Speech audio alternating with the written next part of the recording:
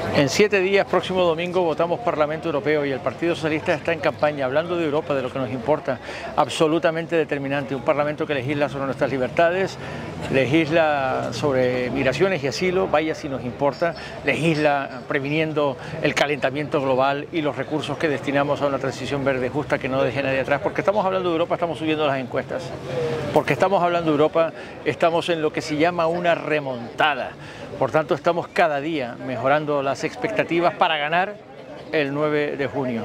Y no me extraña porque estamos hablando de Europa mientras la derecha y la ultraderecha solo están intentando rabiar y explotar la rabia. No solamente la propalan, no solamente la trasladan a la gente que les escucha, sino además quieren explotar esa rabia electoralmente y dicen, vamos a votar contra, vamos a votar contra. Nosotros proponemos votar a favor de lo que realmente se decide. Más y mejor Europa. Europa socialdemócrata, es decir, Europa social, Europa que cumple su promesa con un pilar social robusto, garantizando empleo digno, garantizando salarios dignos, garantizando estabilidad en el trabajo y una vivienda accesible que sea parte del pilar social.